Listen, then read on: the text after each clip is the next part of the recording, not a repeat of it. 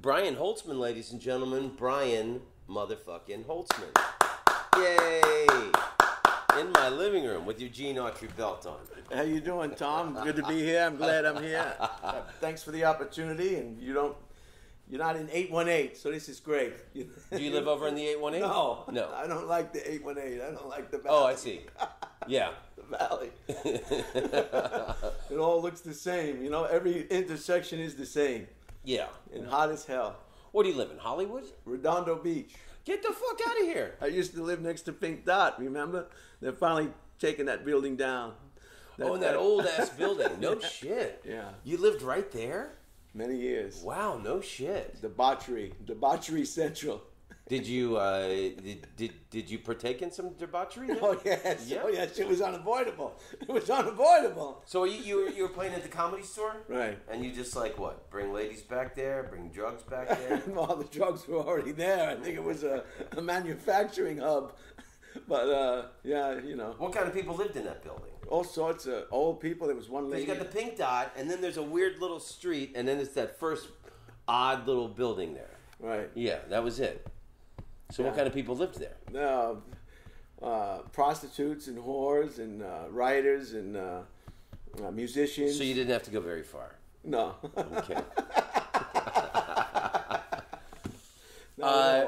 Brian, I'm, I'm I'm I'm a fan. I love you, and I I uh, whenever you're on, like if I'm gonna leave, I'll like if I see that you're gonna be on at the comedy store, I always stay because I love watching you. And the way that I just have described you to people um, is he's a man on the verge of a nervous breakdown.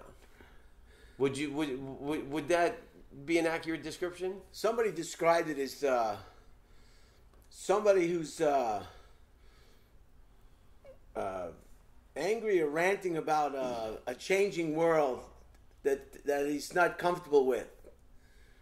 Perhaps Yeah, like remember that uh, uh, uh, the Michael Douglas movie falling down. Falling Down. You're like that guy without the gun. Dice wanted me to go on the road from him a long time ago, and he wanted me to dress up like that character, and that kind of turned me off. I, I didn't want to have a costume, Yeah, so that didn't go. but I love that you. I love that you're yelling and you get pissed, and it's like things uh, drive you to your wits' end, like in your comedy. I mean, Yeah. is, is is this manufactured or are you like constantly? No, the only times it everything. the only times it works is when it's it's it's real passion. People confuse passion with anger. Anger's you can see through anger and it goes away, but passion never goes away. You know, you have your passion for your books, that's never going to go away. It's the same thing with the you know, the yelling that people think I'm yelling. No, it's more it's more deep than that. So uh, so you know how do you? You're always doing different material. I mean, like, so I mean, what do you read the paper every day and you just get pissed off? Oh, uh, well, newspapers are in history. There are no more. Most- Well, I see you got excited because I have the Week yeah, magazine this here, good. I get and I want to give uh, Carla in Rochester, one of my uh, supporters of the podcast. She turned me onto this magazine. The one and only time I ever played in Rochester, New York. I got to the club early, and she was sitting at the bar. And I go, "What are you reading?" And she was like, "Oh, the Week." I was like, "What is that?" She's like, "You don't know what the Week is?" She goes, "Here, take this," and she gave me this magazine, and I had never heard of it before, and I have been a fan of the Week magazine since the day she handed me that magazine, and I've I've given so many subscriptions to people. I like what you I like what you just said because they give a breakdown of both sides of the news. sides. They'll show what the conservative uh, media is saying, and then they'll say what the, And the ev- liberal media is saying. And I found after you read it and you you you read both opinions on a particular item, you're scratching your head and you're going that well they both have valid reasons. So it's it's you know you really have to have an open mind because uh, you know it's just uh, right down the middle.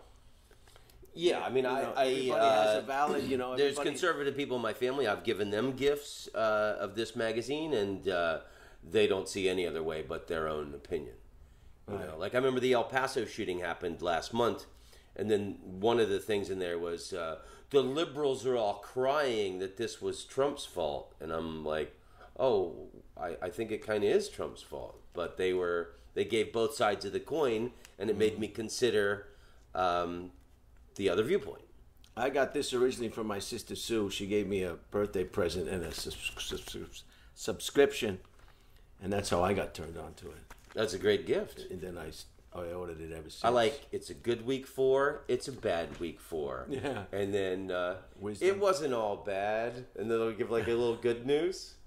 And then I love the um, the houses in the back. It's always right the real estate steal steal the week. steal the week. Have you ever called any of the? No, heck no. There was one in uh, New Mexico a few years ago. I called, and it had been, and then one in Austin, and they had been sold before the magazine went Right. out. But um, now, what year? What year did you have your television show? Because that's when I remember you when I first. So I've been a fan of yours for many years. You had long hair, Yep. and you had a major uh, three-letter network television show. remember? Yeah, I remember. What year was Uh, that? So I can see where I was. Ninety six to ninety seven. Where were you? I was in L.A. Yeah, I got to L.A. in 1989, right after the big earthquake in San Francisco during the World Series. Remember that? I remember well. I moved to San Francisco the next year Yeah. in 1990. So, uh, so I, I already planned to move to L.A. A lot of people think I was running away because of the earthquake. That's that's not true. But now, so you're you're from Long Island, Right. You were in the Air Force, and Four and a half years. four and a half years. I was a major. Get the fuck out! You were a major in the Air Force. A major fuck up. Did you see? We let me go get some. I got an honorable. I got an honorable. Let me get some pliers so you can get that fish hook out of my mouth. Uh, what was your rank? Uh, I was a sergeant, and then I uh, I got busted down to a senior airman. Why'd you get busted?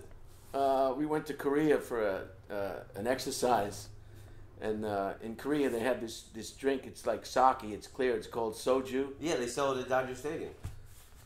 and uh, you, you can drink it very fast. And all of a sudden, it's like a bolt of lightning.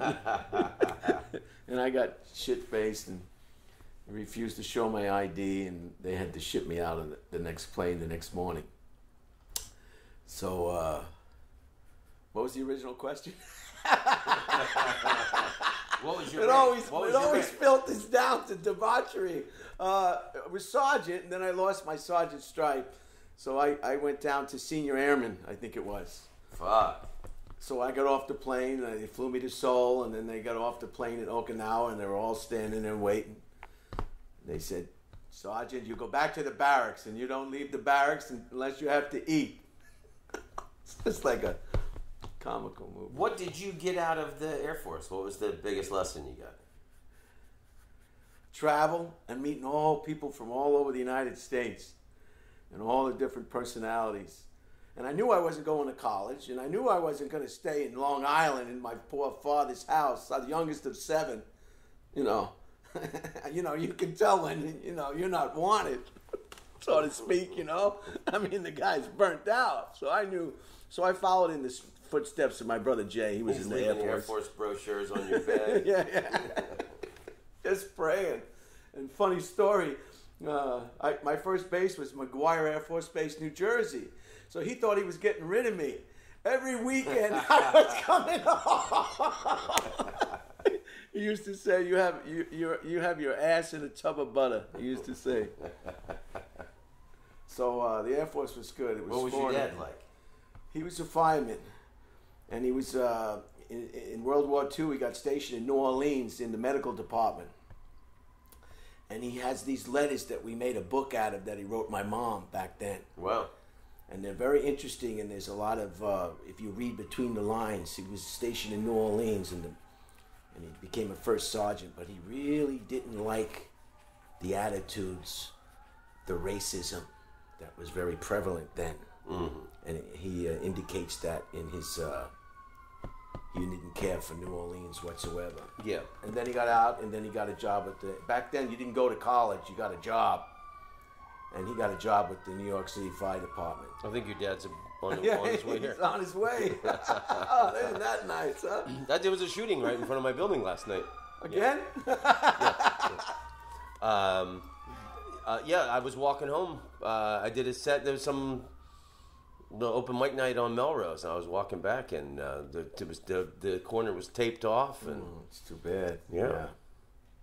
thought I lived in a good neighborhood. Like they say, there are no safe places. Even that guy, that poor, that poor actor who got slayed in his own bed. News radio. What was that? Uh, uh, what was his name? News radio. Uh, Bogosian?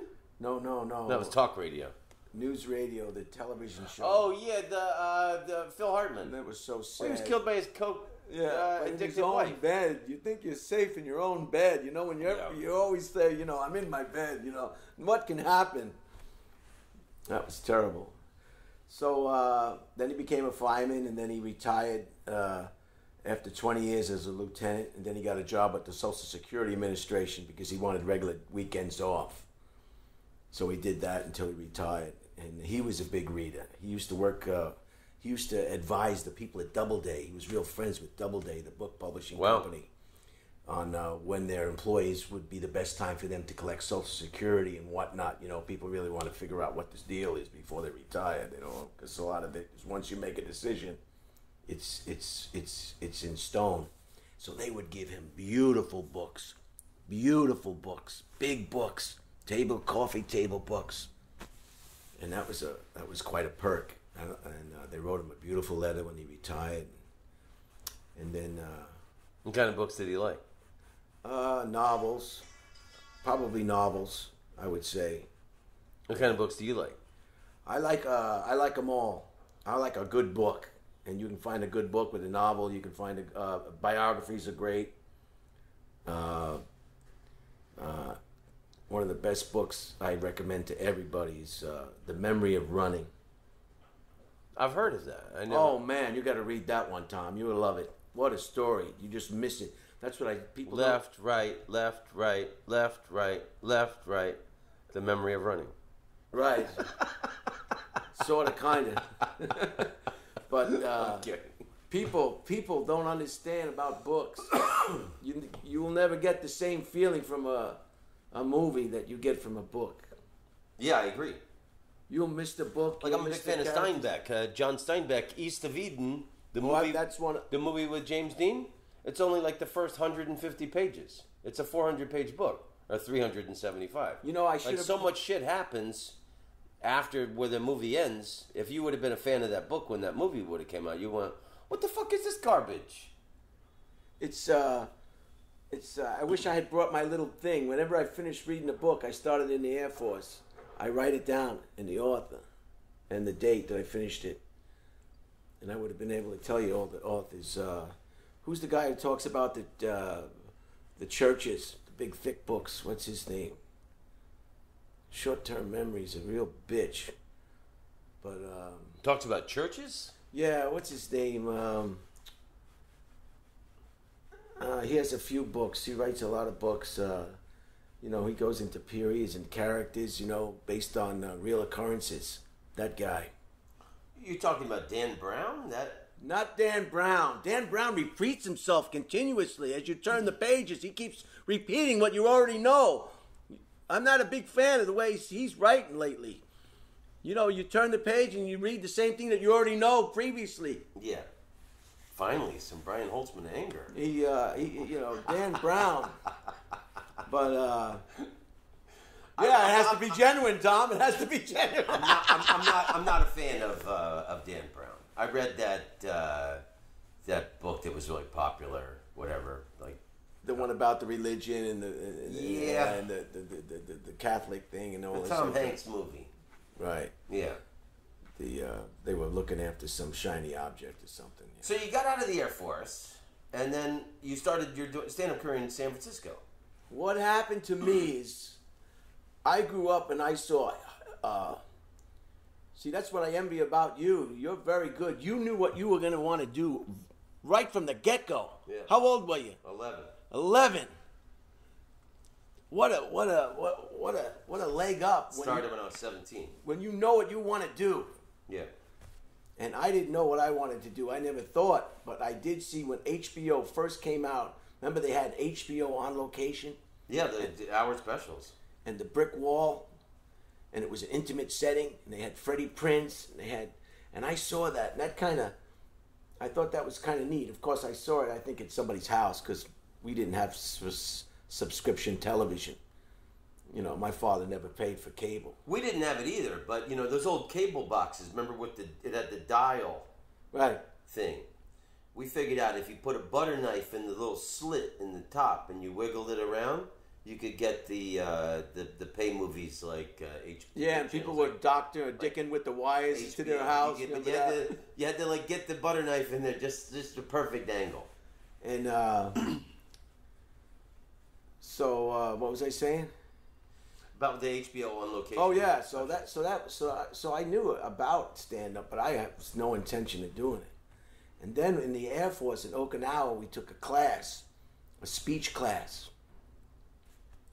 and it went really well. You know, it went really well. And then inside that class were two FEN Far East Network uh, newsreaders for the Far East uh, Television uh, News Network in the class. So they wanted an MC for the after party you know, and they picked me. I was like, why are they picking me? Those people are professional. They're the ones on the television reading the news. Yeah. And they picked me. So I was like, wow. So all I did is like remembered some of the finer points from all the people in the class, some of the things they had said, and then uh, we had the thing, and it went, and that's where the seed was planted. It went wonderful. That's where you decided to be a comedian in Okinawa. Well, no, that's just where the seed planted. It was so much fun. Just like when you were seven or eleven, when you did it the first time, you talked about being on stage at some at, a, at a, some of where you got the you got the bug. Yeah, my dad uh, took me to see my uncle do an open mic night in Washington, D.C. The entrance was next to the stage. The show was in progress. I was wearing a Washington Redskins jacket. And we walked in, and the comedian on stage goes, Hey, look, it's the coach of the Redskins. And he pulled me on stage and he interviewed me like I was the coach of the Redskins. and that's when the, the seed was. From the, where the, I decided, it wasn't the seed, it was, I never wanted to do anything with my life since then. you know, I think I think it was like 13, 14. It was either Major League Baseball or stand up comedy. I might have been. Uh, and then What position did you play? center field. Had good legs, could run.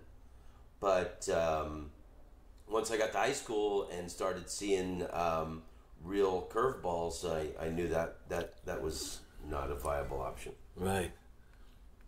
So that was when my seed got planted at that um, that dinner we had at the nice restaurant on, uh, Kadena Air Force Base in Okinawa.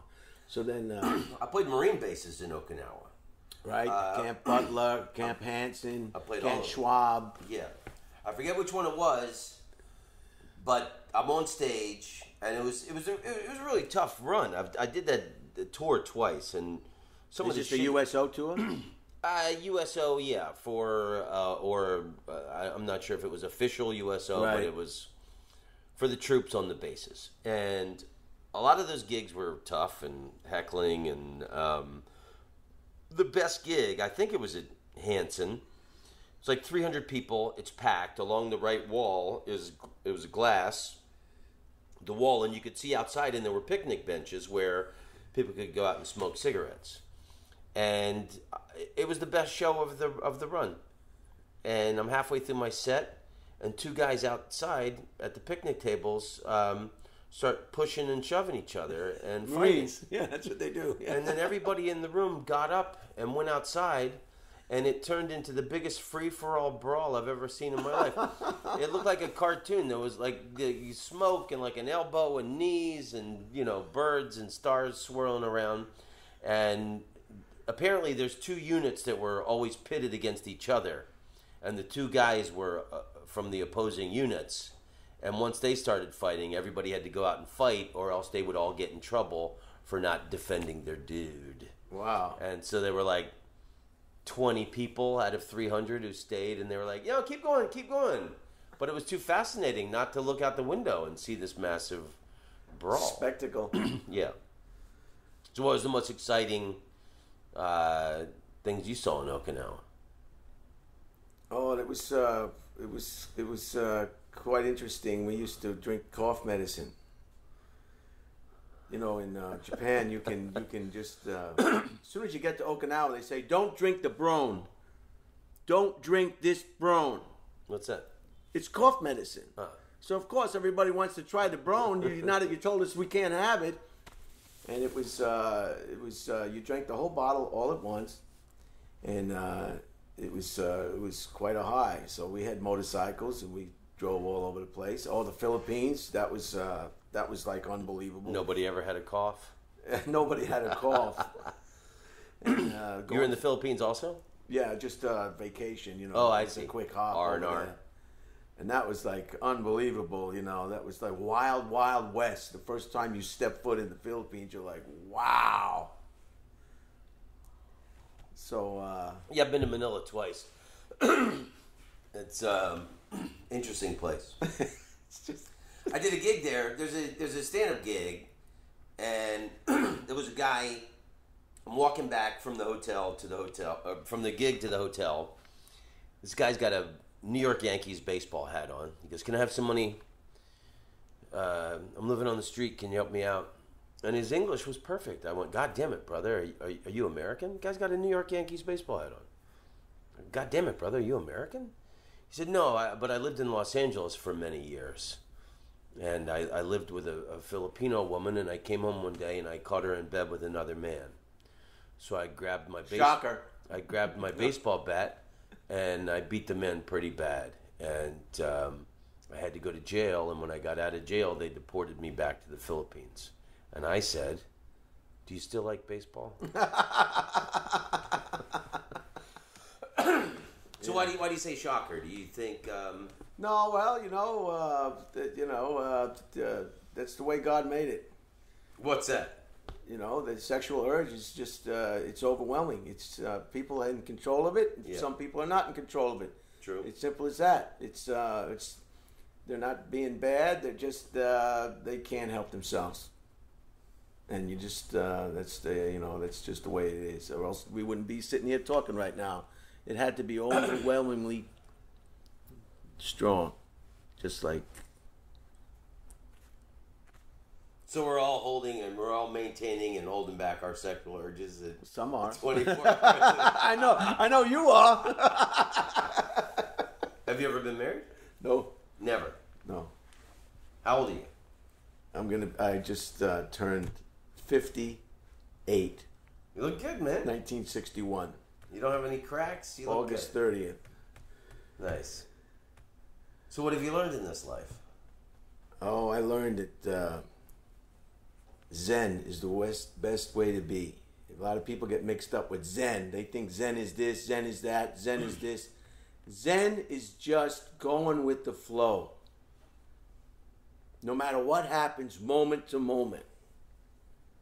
Yeah. And it's a beautiful way to live. Just don't be the problem. There's plenty of other people that will be the problem.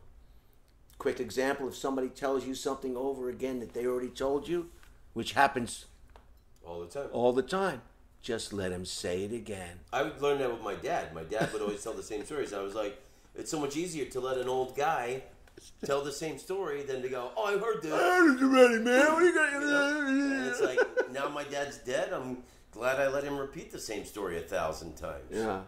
You know? I learned life is very short. My grandmother always told us that growing up. She lived to 92 and she used to say it all the time. the two biggest things she said is you hang up the towel, it'll never dry in a ball. It'll never dry in a ball and life is short. Life is too short. And at this age you, you realize it. But uh yeah. So um So is that uh, is that the main thing you, you got out of the Air Force? Meeting different people from around the world. different people traveling. I love to travel. I like to. Uh, I like to see different cultures and. Uh, uh, I thought that the Air Force has the best uniforms. they're the, the, the they're the neatest ones. And you know what's good about the Air Force? The only people that do the dying are the pilots.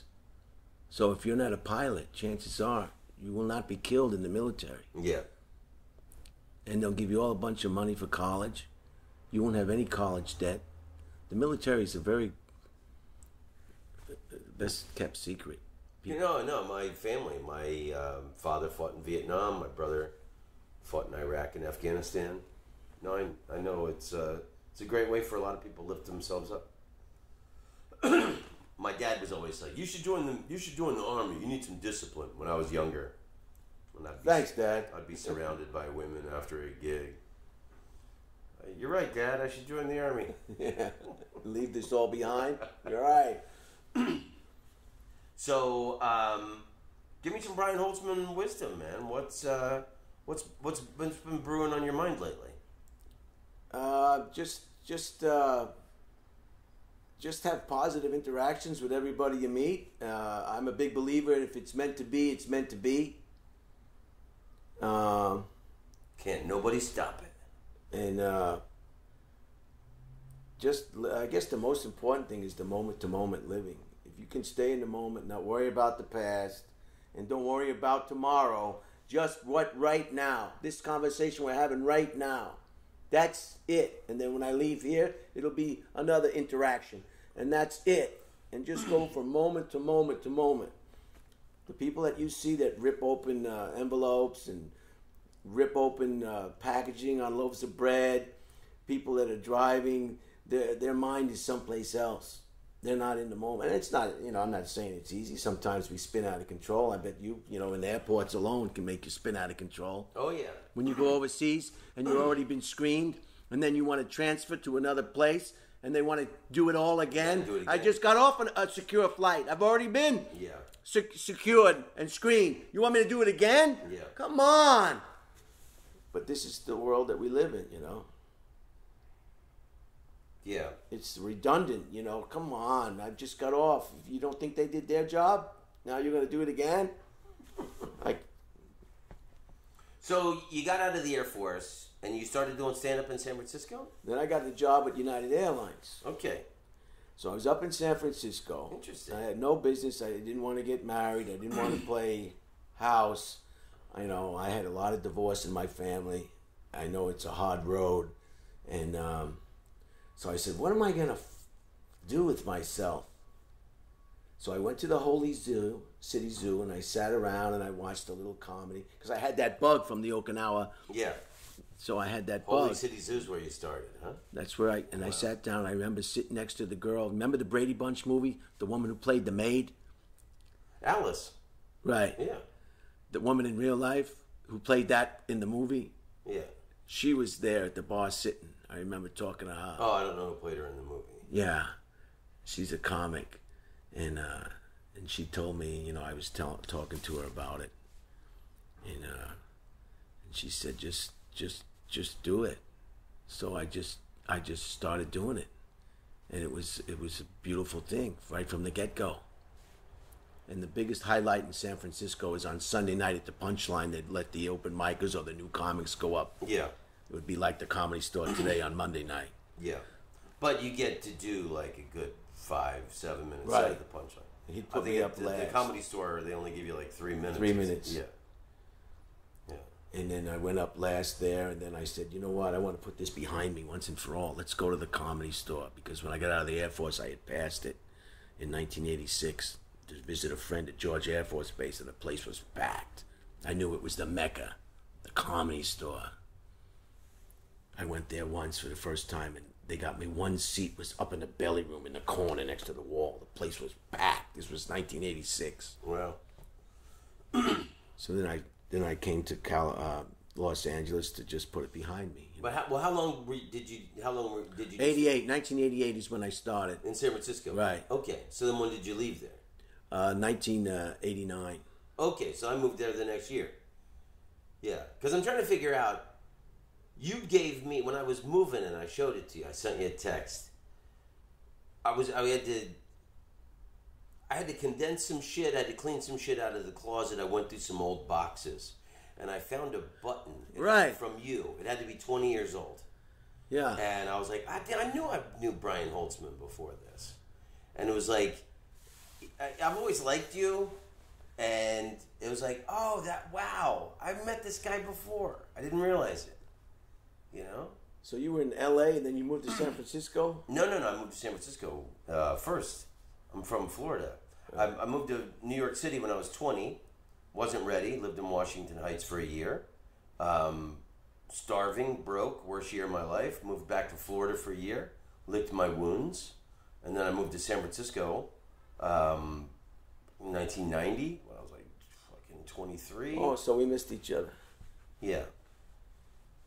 I was heading south, and you, you would. And then I you stayed there arrived. until I got the sitcom. And then I moved to LA to do the sitcom. 96. Man, that's great. Yeah. What was the name of that show again? You were a teacher, right? Mr. Rhodes. Mr. Rhodes, of course. Haha. So, how, my my question is, how do you how do you arrange being all over the world like you do?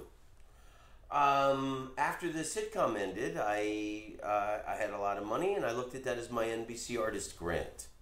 And I had lived in New York City like a dog, and I always swore if I ever had any money, I'd live in New York with style.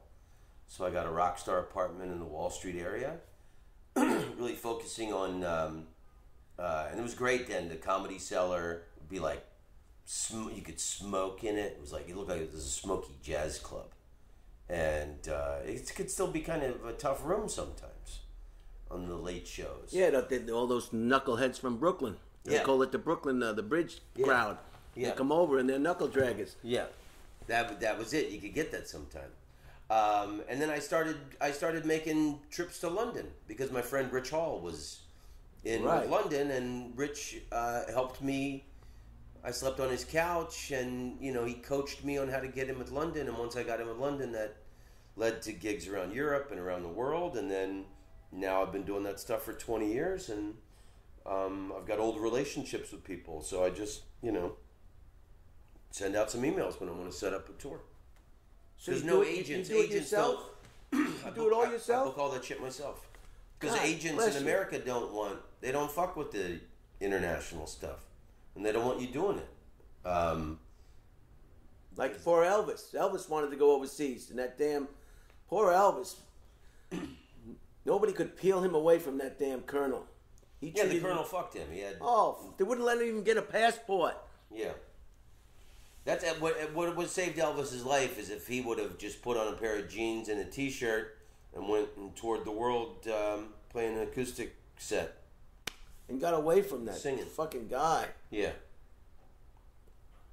Yeah, Elvis is I know you love Elvis. Elvis is something else. I, I listened to the Essential Elvis uh, this morning in your honor. One of my favorite songs is "Return to Sender, Address Unknown." yeah, Elvis was unbelievable. I have a book here. It's uh, the Elvis Encyclopedia. And in that book, it's all full of Elvis facts. And in the book, I learned that Elvis was never circumcised. Um, did you know that? No, Elvis had a anteater nose looking. I'd have thought for sure he'd had a smooth, kissable German helmet. When he was on Ed Sullivan swinging it around, I thought he was swinging a German helmet. I, I never pictured him swinging around an anteater nose. a Did homeless, you? a homeless dick. Do you know any Elvis factoids? I don't know uh, much. I know he had a nice girlfriend over there in Germany. He was never alone, that's for sure. And he got that sweet gig in uh, in the army. What was the? Um, I think he went to Paris once for like two days. That's it. It kills me. Um. Uh, do-do-do-do-do.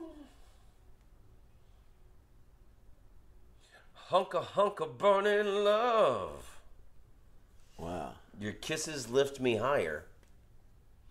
Like the sweet song from a choir, you light my morning sky. Burn in love. Ooh, Yeah, he was something else. I feel my temperature rising. What was he, 42? Was that it when he he died? died. Yeah. Poor guy. He um, never had sex with Priscilla after she had the baby. Is that right? Yeah. It's some weird thing about motherhood.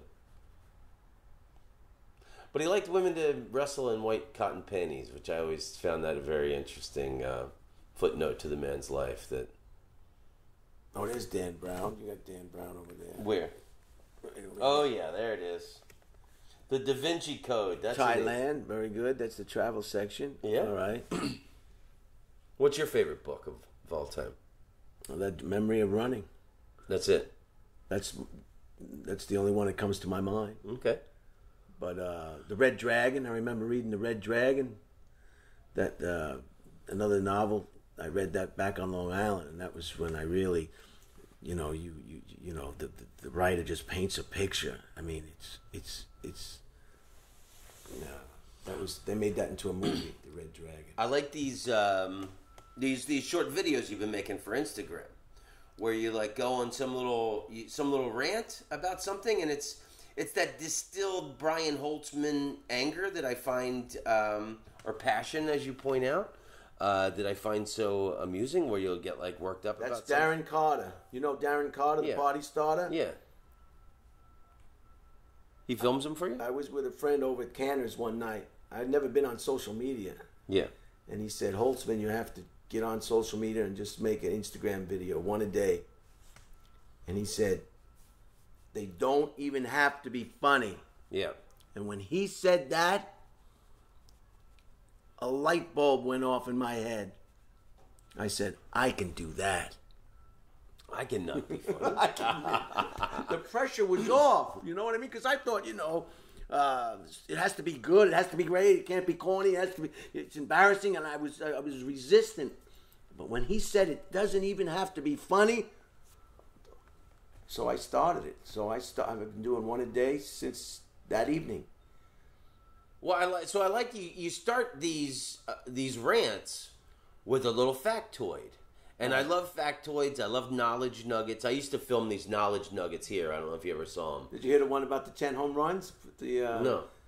Just the other day, the uh, Toronto Blue Jays hit ten home runs in a single game. Wow. 1987, I think it was. That wow. That's a lot of steroids. Is that the record? yeah, that's the record. wow. Ten home runs. Yeah, like you know, you were like on this day, the General Motors Corporation was founded, GM, and then you'll go into your rant and stuff. So how do you come up with your factoids? You just like Google stuff? There's a there's a there's a website. It Happened says on on this this, day. Yeah. So I go to that and I see if there's anything, uh, and I try to keep it out of politics and all that other nonsense. There's so much of that going on on social media. I don't want to go there. Well, that's what I like about your anger or passion. That um, it's everything in life. It's not. Um, it's not. you don't. Um, you don't. You don't touch politics. Like it's. It's like that's so lofty. I think your your head might explode if you. Uh, Yeah, you you have you have to. Uh, you I don't want to annihilate people. People are so sensitive, you know. yeah. And you're gonna find a billion people that think you're wrong or stupid just because you said one thing. You know, Yeah, that's the world. maybe live we should just See, that guy- register that- people that- with. that SNL uh, guy got fired for. Oh, uh, that poor guy, man! They're really trying to suck the life right out of that this art form, stand-up comedy. They really are. They're trying to sanitize it. Well, I think he said uh, the the racial slur against uh, Chinese people. Yeah, but Tom, listen. Everybody has Rhymes two with- eyes, Rhymes with drink. two ears, a mouth. You think he said it a little too comfortably. And two years ago, when he said it, Did you hear him say it? I heard it. Oh, so you say it's too comfortable? What are you talking Yeah, about? like It it's was too comfortable. It, it sounded a little too. that uh, he meant it. Well, yeah, he was like he because someone had taken the audio, and the audio was um, he's like Chinatown's nuts. You can leave it to the Chinks. yeah, and Uh, We're only saying chinks because we're talking about we're talking about this situation. So anybody listening to this podcast, put your panties back on and not worry about it. Okay, we're just talking about something else. We're not saying chinks. So he said chinks. Is that what he said? yeah. So this is what I wanted from you. Like I, you're like all like relaxed and like we're having Well, fun. I'm, I'm all these surrounded by this beautiful apartment and all these books and the postcards and the money tree and the album collection. The money I'm in awe. You know, I live in a fucking trailer. All right, I live in a mobile home. Okay. Do you? Yes. No, in Redondo Beach. Redondo Beach. I got very lucky. Forty-three thousand dollars. Bam. You People bought- spend more on that on their cars than that. Shit! You bought something? I saw it in the LA Times, living in that shithole next to Pink Dot, and there it was. There it was. Wow! I went down, I looked at it, I said, This is perfect.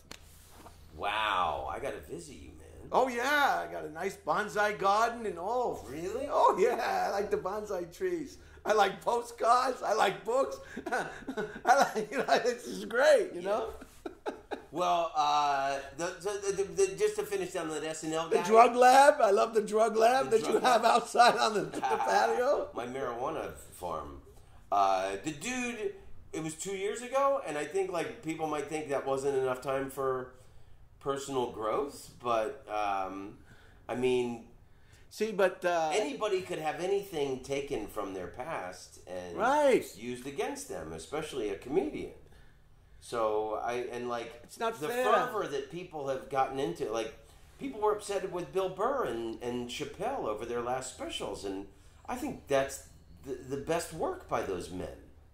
it's uh, they just they're just trying to, to take in. You know, if someone's got two heads and you start making fun of them because they have two heads, that's a problem because nobody has two heads. But everybody has two eyes, two ears, a mouth, and a nose.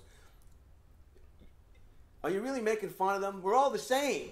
You know, we're all the same.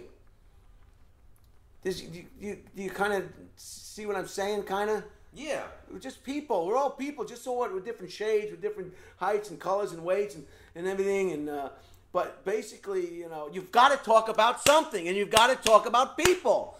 Animals don't understand. You want to make fun of giraffes? Make fun of giraffes, but they're not. They're not. They won't know they're being made fun of, and nobody cares about giraffes. The only thing you can talk about is people. Soylent Green is people. yeah. You saw that movie, right? Soylent Green. Soylent Green? No. Oh, you gotta see it. Oh yeah, you gotta see it. It's classic with what's his name, uh, Charlton Heston. No, I never It's saw it. It's one of those, uh, I guess, '70s movies. Soylent Green. Soylent Green. Watch Soylent Green. What's it about?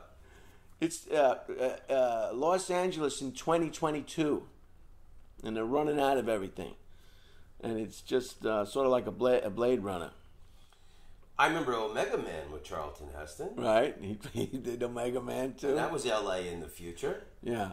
Soylent Green. Soylent Green. It's color. I'm gonna look it up. I wish they would color the Jack Benny show. Wouldn't that be great if they put that in color? Right?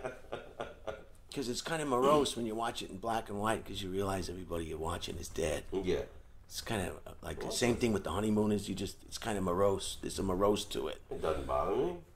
But that that that uh, I get the Me TV. I get the uh, all the antenna stuff. Do you have cable? No. I got uh, Roku. Roku. Yeah. Does that really work? It's fucking. I mean, I just watch uh, Netflix, and then there's a couple. You get PBS. So who's getting ripped off on that? The the networks. I'm not paying. There's any- nothing they can do about No. stopping that. No, and there's a couple of news channels on there. It's like, and I don't, I don't, I get most of my news off the internet, you know. So um, it's good. There's like France 24. I'm watching French French news in English. the German one. Is um, they got like a CBS 24 hour feed, and then uh, I, I watch the PBS NewsHour. I mean, that's that's probably like my main TV news.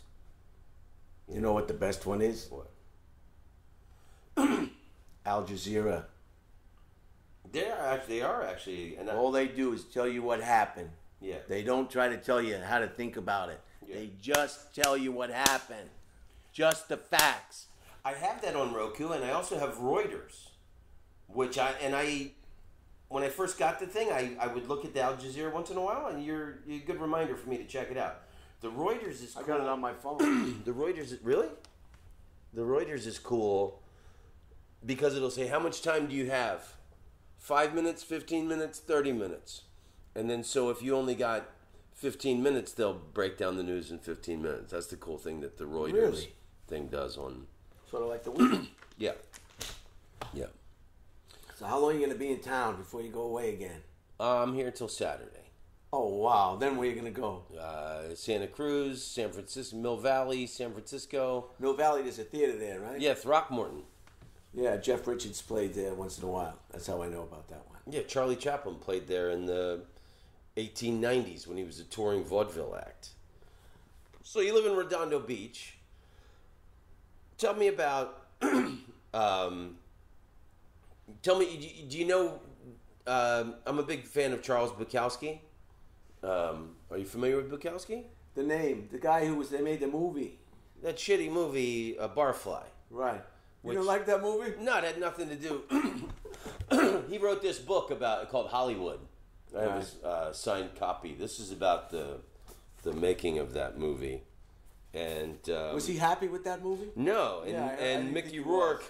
Had like a little on. He was like a spoiled um, movie star, and he had like all these biker dudes with him. And there was some producer that they were upset with, and all these bikers and Mickey Rourke got on top of the dude's Mercedes and started stomping on it and doing damage to the car. And Bukowski like wrote like, "What a bunch of little." If this was real life and not on the Warner Brothers set, these guys would have had their asses beat They would have been arrested. but he was like spoiled little movie star. If the president of said corporation is judged incapable to carry out his duties because of the use of drugs or intoxicating beverages, or if he is deemed sexually overactive, detrimental to the common good of society or the corporation, then after a majority vote of said members, the president of said corporation will be placed in a role of diminished authority, and all assets of said corporation will be divided equally among the remaining members. Okay, I'm sorry, I just opened up Hollywood and read um, the first quote that I saw. How many books did this guy write? Uh, he wrote a lot. And So you got a pretty eclectic collection of different. Uh, Yeah, but my my favorite thing, you got to hear this. One of my favorite recordings of all time is Charles Bukowski live at Redondo Beach, and he's he's he's drunk, and half of the, you know, he's reading poems, but half of the performance, he's challenging the audience to a fight because everybody's heckling him, and he's like, "Hey, God damn it, I brought my knife." I'll come down there and cut your goddamn nodules off your earlobes, and like you'll love it. And then he's and then people start heckling him, and he's like, "Redondo Beach, my God, who knew you guys were so tough? You're tougher than the Detroit gang, the Vancouver gang, the East Lansing, Michigan gang." But then he's he's reading his poems, and it, it's really powerful shit. So you, you live in Redondo, and you've never heard it? No. Oh my God. A guy in the Air Force told me once there's a whole world that you don't know about. Yeah. It's just, it's just, uh, you know, it's, uh, I talked to some young people and I asked them who Pauly Shore was. They didn't even know who Pauly Shore was. Yeah. You know, people just, we can only know what we've been exposed to. But, uh, Yeah, I mean, I'm. So this I've, guy was a I've, fighter I've, I've, I've, I've, um, I met a, a woman that I'm um, very happy with. are you dating now, Tom? Yeah, I'm, I met a woman. It's funny because when I got divorced, I should say this. You said uh, you came up to me and you said, you know, when you were uh, in love and happy, I couldn't relate to you. Right. But now that you're divorced and miserable, I think we can be friends. We could be better friends. I thought that was I can hilarious. relate to relate to you much better because uh, it's like a different. Uh, it's like uh, I have a friend. His name is Victor Simmons. He asked me to be the God's God God uh, father for his son. Yeah. So I was excited. I don't have any children of my own. I had to go to the class at the church and how to do it. Are you Catholic? Yeah, and uh, I never hear from him. Why? Because he got married? I don't know. Why did you pick me to be the godfather if you're not going to keep contact with me? Yeah. Why didn't you take the, the wife's sister's husband, make him? So I'm looking for a lawyer now to divorce my godson. but it's not easy to do. And then, uh, you know, I'd be a big asshole if people found out that I divorced my godson, you know? right? You know, just let it go. You know, just let it go. Well, that's such a funny Catholic concept too to, to have a, a god parent. To like, In case if something happens to the parents, then you got to raise their Right. kids. Right. I mean, I'm really Jewish though. Yeah. My father was Jewish, but my mother was Catholic. So you know how the Jews are. They're, they're a stickler for the you know the rules. You got to come out of the. You got to come from the mom. the Mom's Jewish got to be the. Jews. Oh yeah. Mm-hmm. So in all intents and purposes, The, the Hindus are like that. To be truly Hindu, you have to be born of a Hindu vagina. So that makes George Harrison the Sammy Davis Jr. of Hindu. but can he dance? now, what's your favorite country? Because you've been to all of them. France. I love France. Yeah, everybody. Uh, what's his name? Is I think lives in France. The guy from uh, uh, the comic who uh, with the glasses from the. Richard Belzer. How is Richard? He just he just left the show. He retired. I don't know what happened. He what made the money and he moved to France. yeah, he's always loved France. So he just dropped off the, the face of the earth. Yeah. He's okay. I haven't seen the guy in years. I don't. I have no idea. Yeah, he just. Uh, When he did, when Paul Provenza did that show Green Room, Right. was the last time I saw. I used to be friends with Belzer. Um, when I lived in New York, when I was twenty, uh, I had when I was nineteen, I had worked with Richard Belzer at the Punchline in San Francisco, and he taught me how to um, um, sniff cocaine off of um uh, a key, which I was unfamiliar with at the time. And then when I was twenty, and it was a shitty year. Um, he helped me get some sets at Catch a Rising Star, and one night I got to do coke with him and Eric Roberts. Uh, and Pope of Greenwich Village is one of my favorite oh, movies of all Eric time. Roberts is a great actor. Yeah, Pope of Greenwich Village. Him and that guy. They got my thumb, Charlie. they got my thumb, Charlie. Oh, that's a good one. I love that film. That's a good one. That's why I liked Once Upon a Time in Hollywood so much. It's a great film. It's because they're acting. You're watching the scenes. You're listening to the the, di- uh, the dialogue. I mean, the people talking about lunch boxes in that scene. I don't Yeah. want to give it away for people who haven't seen the film. Give it away. We don't care. Talking about lunch boxes and television shows before they want to go and Kill somebody. Yeah. I thought that movie was great just to see Just to- L.A. in like '69. There was like this Hollywood Boulevard with the old cars on it, and the way they had dressed up the city, and and the hippies who like their bare feet. yeah, It's all you know. It's just he's very detail oriented, you know. But just doing these ten minute clips that I do, I mean these one minute clips. Yeah. Imagine making a whole movie. yeah, No wonder those directors are just out of their minds. They have to coordinate the whole thing. The wardrobe, the, the, the food, the breaks, the cameraman, the key grip, this, the light is running out of time, all that. No wonder they're just. Imagine the detail of that movie. That every everything is so detailed in that Tarantino movie yeah. at the end when they're the violent end. How detailed is that? I mean, I don't know how you know, and uh, I mean, uh, I don't want to give the movie away, Tom. I'm sure everybody's seen it by now. You know the scene Somebody where might be did you ever see somebody? now. Did you see? Did you see them? Did you ever see somebody get hit in the face with a dog food can like that? I mean, the way he cuts it, you know, he's like a Alfred Hitchcock. You know, he's Yeah. the way it's just so fast, right? Yeah. You're sitting there, and all of a sudden it's bouncing off her face. It just happened so fast. I mean, like I'm not. And that's how it is in real life, you know. That's how things happen. People don't walk up to you and stab you slowly. Yeah. They, you know, yeah. I got uh, and, and, and, the violence is. I mean, I, I it gives me this nervous reaction of of, of giggling, like when the, the Exactly. woman, the woman who's she's in the car and she's like, "Let's kill the the people who taught us how to kill," and she goes, "Man," and it's like you want her to die when she's so evil in the back seat, I- and then so when she gets hit with the flamethrower in the pool and she's flopping around, like. I'm, I'm not like a violent person, and I'm, I'm against violence. oh, I, but- I, I'm the same way. I, I giggled like a fool. That's that what's so great It's about like him. Cartoon. He makes you laugh while you're watching violence. Now, what, who can do that? Yeah. Other violence is like, you know, I don't want to see this shit. I don't want to see this. Yeah. It, it turns my stomach. I'm not into medical reports and violence. I can't stand it. But his violence makes you laugh while you're watching it. And then uh, uh, when- he ran away with the flame, uh, when he ran away from the pool, did you think he was running away? First thing I said is he's running away. he comes back out. With the flamethrower. Oh yeah, no. you I think he was running away? That's great. And then they're, then they're out front talking with the neighbors. Oh, yeah, I was in that movie. Yeah, want to come up for some coffee? Yeah, yeah. Forget about everything. It's about, it's about the business again.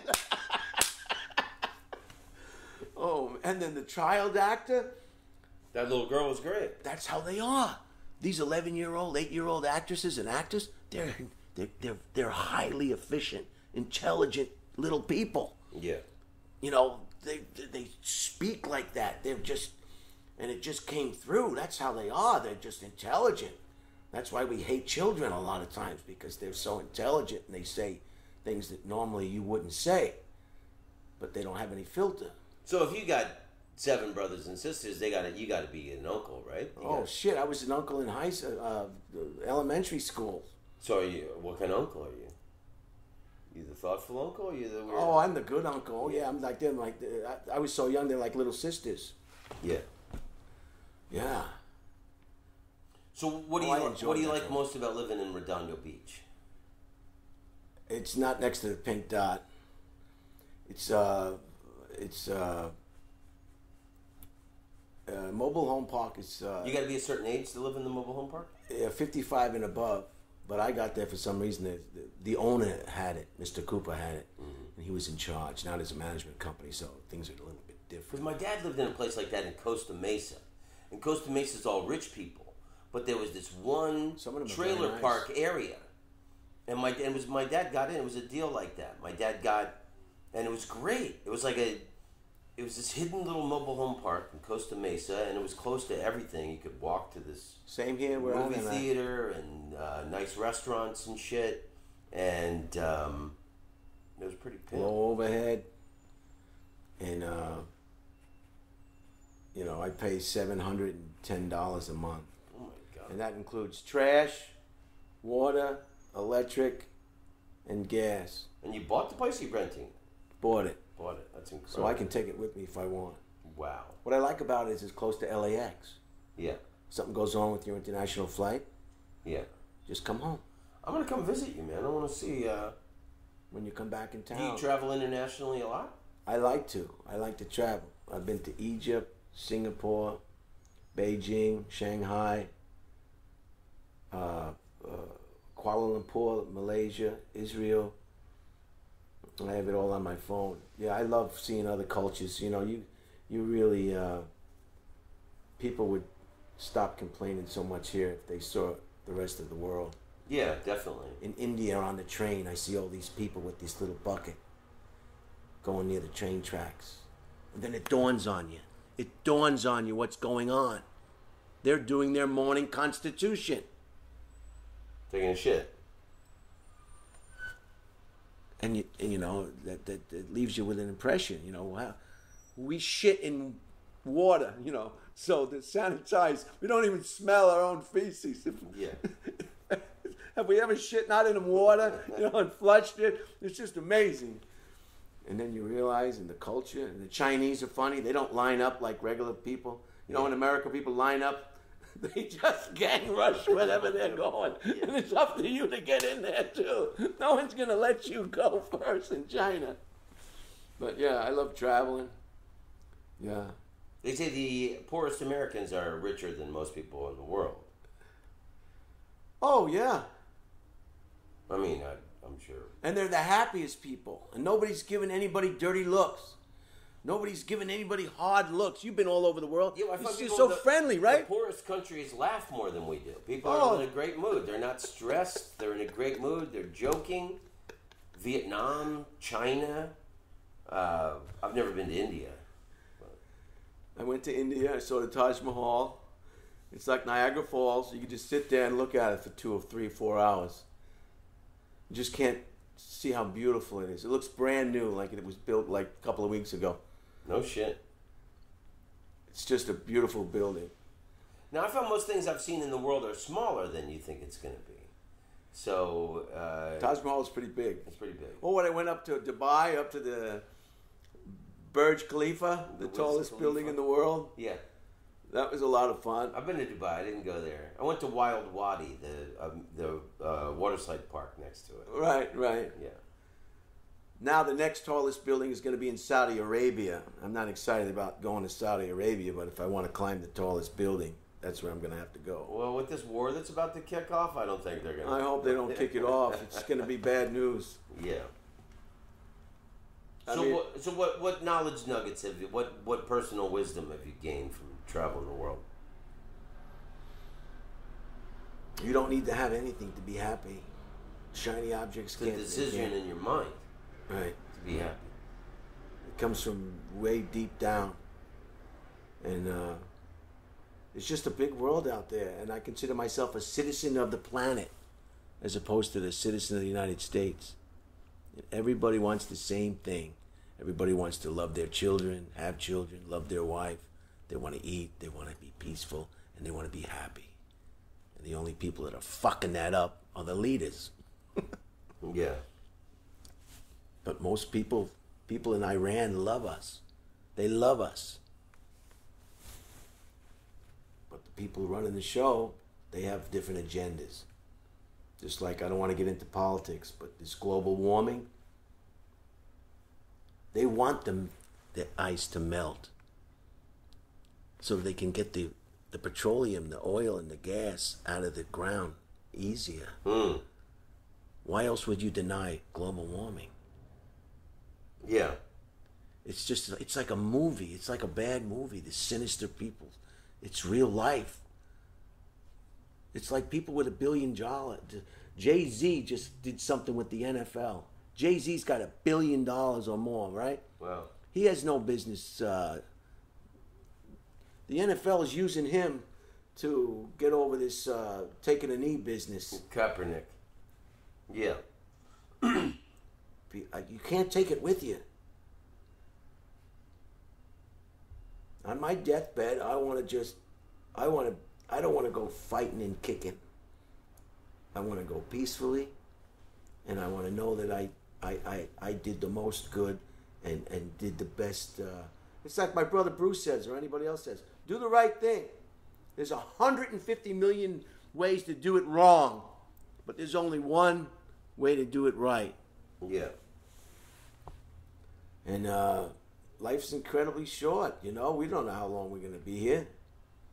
Well, I love your comedy because you get so worked up and you and you, you get um, uh, passionate, as you say. So, like, what really works you up in real life? I mean, like, you're riding a motorcycle in Los Angeles. That to me, that's nuts. Because Yeah, it's the only way to get here. People are such assholes behind the wheel. Traffic is horrible in Los Angeles. I don't, I don't take it to the club on the weekend nights. That would be suicide with the drunks. But I do take it when I have an appointment in town in the day. Because it's the only way to get here. In a timely manner. Yeah. From Redondo Beach to Hollywood, it can take you uh, over an hour and a half. Every street's got roadblocks and everything. But um, Shootings, police tape. Um, so, what what really works you up in in uh, the everyday life of Brian Holtzman? I guess uh, I guess people, people. Uh, the only thing that the only thing that can disappoint you is people. And they're uh, You can only be hurt by someone that you love. Right. Strangers can't hurt you. Yeah, Yeah. that's the worst. They call it uh they call it a street angel, home devil. Somebody who goes out in the street and treats everybody like gold, but when they come home, they treat their family like shit. Hmm. Street, street, street angel, home devil, home, uh, you know, something like that. What joke have you written that you're the most proud of? That's hard to say because, uh, uh, you know, I just, you know, I'm not real fond of jokes, kind of. You know, I have jokes, but uh, I'm more of a conversational, topical. I'll just take a talking point and run with it. So, uh, but I like to, I like to talk about what people can identify with, as opposed to, uh, you know, I want them to know what I'm talking about as soon as I'm talking about it. That I think that's important. Well, how do you come up with your daily one minute rants on Instagram? Uh, sometimes it's hard. Sometimes I wake up in the morning and I don't know what I'm going to do. Yeah. That's why I stood on my head the other day. I, I, I didn't know what I was going to do. I said, What am I going to do? Stand on my head? Then I said, Yeah, stand on your head. So hopefully, like today, I don't know what I'm going to do yet today. That's why I took a break on the knowledge nuggets. I mean, I was putting those out once a week, but it was hard to come up with something once a week. Oh, yeah. And uh, my wife and I, um, we'd film it, and the we did it in natural lights. Like the sun would be going down, and she'd be like, "You got to drop this, and you need to move that to the end." And I was like, "Well, fuck it then. We won't put one out this week." and then like, like it was like. Yeah, that's what I mean about Yeah. making a movie and doing Yeah. these one things. You can get it gets nutty because you just want to get it over with. You know, it takes a second to film a minute, but it takes a half hour to load it up, Yeah. depending on your internet where you are. You know, to, to feed it. But uh, yeah, it's frustrating. I can. Well, you want it. to do something good too, and then Yeah. um, yeah. Sometimes you're not. Yeah, you, you know, it's it's hard to criticism. top. Uh, I did one with that uh, Nicole Tran, that comic from Vietnam. You know, you just have to realize you can't top it. There's some things that can't be topped. What was that one? I didn't see it. She speaks Vietnamese, Yeah. and uh, she's my lawyer because I'm suing the uh, Morning Glory uh, uh, Sparkler Corporation for burns I received on Fourth of July. so we go to LAX to drop off a friend who's going to the Philippines.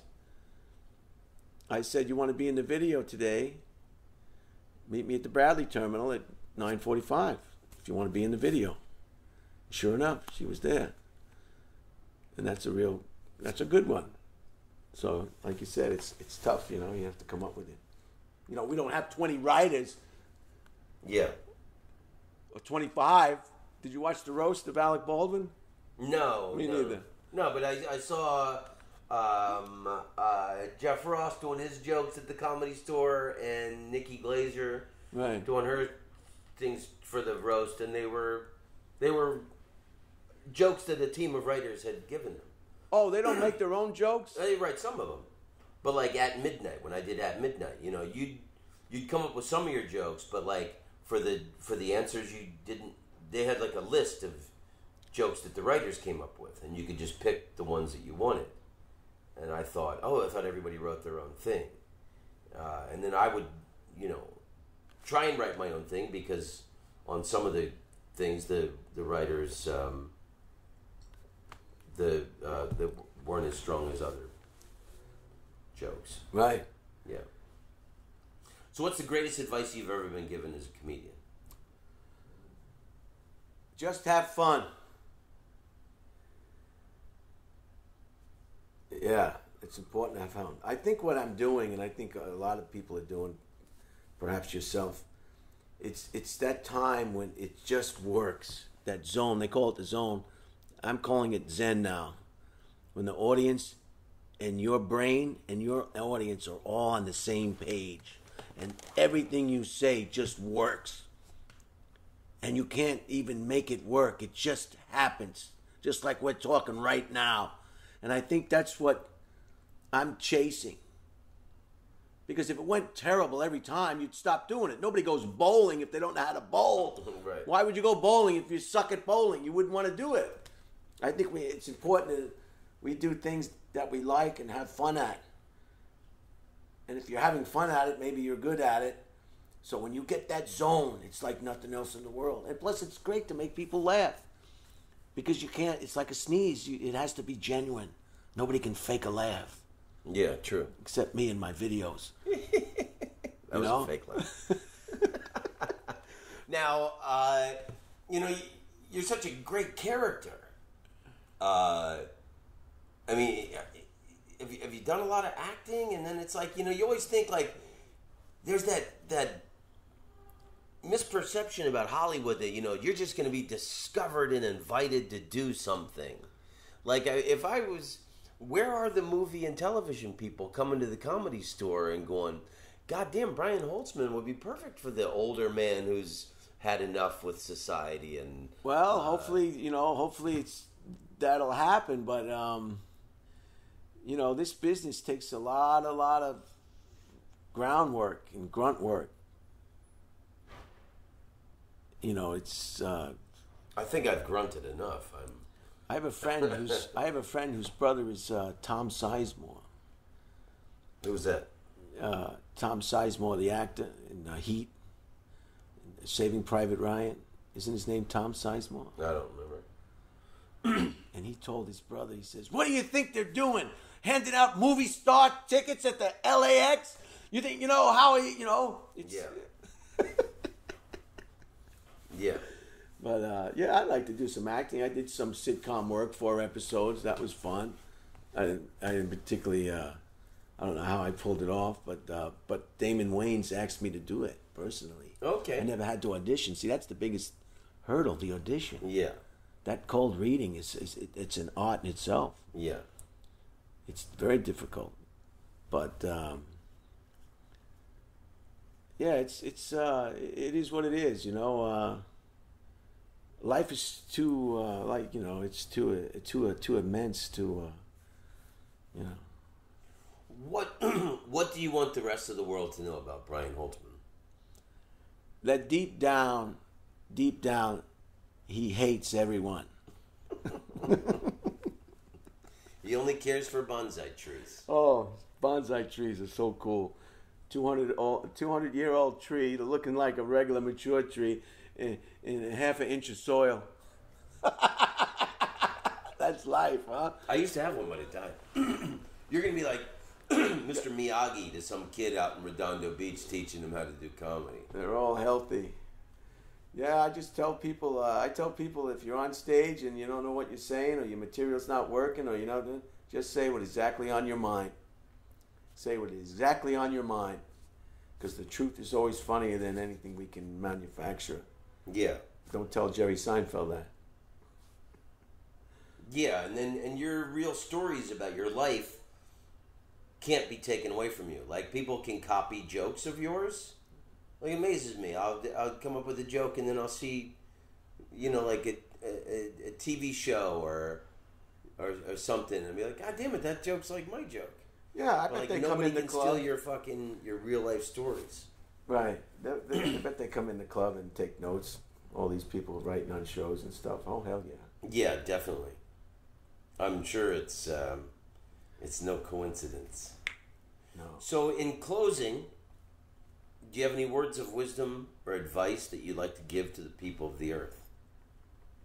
Be happy, be thoughtful, be conscientious, and always want to be missed. You don't want to be the person that's like, I can't wait till that person leaves. I'm happy that person is gone. Be missed. And uh, keep an open mind. And, and don't hate. Life is too short to hate. You don't hate nobody? No. What you do is if you hate somebody, what you say is you don't like their style. And that loses all the bitterness and the toxicness of hate. You don't want hate running around in your veins. Hate is a toxin. You don't need it. I got it. I don't like my brother's style. Exactly. How many brothers do you have? Two. I have two too. They're both pea-brained fuckwits. They're not enlightened, perhaps. Right. I don't like their style. Yeah, never. Just you don't like their style. the way they punch me and yell in my face Oh, you're the and, get, youngest? and get spittle in my eye. I don't like their style. Yes, I'm the youngest, and they've been throwing me around like a rag doll my whole life. Well, Yeah, I don't like their style. just say you don't like their style. I don't like their lack of compassion for other human beings. And flush the toilet too when you're done. flush the fucking toilet. that's what that's what someone needs to do with this country. It's uh, the toilet is clogged, and Trump is just the turd swirling around at the top. And but you're going to talk to people, and I have friends. I'm still friends with them because they have the right to their, you know, their racism, their arrogant, uh, uh, uh, uh, ignorance, their racism. Uh, you know, whatever is causing them to believe that perhaps he's doing a good job. And uh, it's it's just the same thing. It's the same broken record. They're hurt people. They feel like they've been left out. There's somebody's treated them wrong, perhaps in their life, Yeah, and there's uh, there's a deep seated kind of resentment. Maybe it's how they look, how much money they make, how they were treated growing up. There's something going on, and and to be a positive person with uh, like a small child, all I can do is compare it to a small child. When you were young and you were just running around, you had no axes to grind, you had no racism, you had no uh, anger, you had nothing against anything or anybody. And if you can get to that point as an adult, then you're living a Zen life. Hmm. I mean, even as chilled as I am, I haven't achieved that, that zen. Like I said, But I, you get better and better because you're going to find yourself catching it. You got to give everybody a break because you don't know what they're going through. The Yeah. guy who's racing around is probably could have somebody in the hospital at the Yeah. with cancer and they got stuff on their mind. Yeah. You got to give people all as long as they don't physically molest you or attack you in any way, you give everybody a pass. And it's easier said than done because people will do things that will uh, make you uh, But it's okay if I choose to spend my Christmases with other people, right? well, you can only uh, I might be spending Christmas this year in Redondo Beach. I'm, gonna, I'm, gonna be, I'm gonna bring little tiny ornaments for the bonsai trees. Can I give my Instagram account? Yes, I want you to give everything right now. Brian Holt, it's at Brian Holtzman, right? Uh, the Instagram is Brian Holtzman. H O L T Z M A N. Right. And uh, And it's Brian with an I, not a Y, thank you. because he's wasn't born after 1990. And uh, this is a great. There's so many nice things in this apartment. I'm just want to make sure the days that you'll be out of town, I'm a collector. you come back and everything will be gone. Like the Grinch with the sled filling it up, and you're gonna have Yeah. a dog pulling it. But uh, Brian, I absolutely love you, and I love watching you work. And as fucked up as some people can be in life, and uh, you know, I, I, I, I love and value comedians above everyone else. And I really get excited when I see you're on the bill, and I love watching you because I don't know what's going to happen. I don't know what you're going to talk about. You never bang to the same shit, and you're always. It's always this. It's. It's. It's. I guess it's that nervous laughter of watching a Tarantino movie. I get. I kind of. I kind of get that when I watch you. Is like, holy fuck! Is it? Is this guy about to uh, pull out a gun and murder everybody, or is it? Or maybe the, maybe your rants are the reason you don't. I prefer flying. What do they call them? Throwing Stars. stars and nunchucks. Well, thank you, man. That's a great compliment, and I'm happy that you had me because I'm a big fan of yours as well. I mean, you've you've got a lot of miles on your ass and TV shows and uh, concert halls all over the freaking world, man. And a beautiful residence. So uh, thanks for having me. You're welcome, brother. I respect you, and I, I, I love you as a comedian and as a person. So Right. long may you run, brother. Thank you. Long may you run. Tom Rhodes, you're a funny man. Tom Rhodes, you're an international comedian. Tom Rhodes, karate kick, baby, oh yeah. Tom Rhodes, you're a groovy dude. You go all around the world telling jokes to all of the people. You are an international comedian. Funny to everybody in every single country in the world. Tom Rhodes, I like you very much. I think you're talented and very wonderful. Tom Rhodes, you're the best guy in the world. I wanna be your friend. You should call me sometime. Here is my phone number 603 644 0048. Yeah, yeah, yeah. Tom Rhodes, you're an international comedic sensation. Tom Rhodes, I like to listen to your podcast. Tom Rhodes, you're the best man to ever walk on the earth.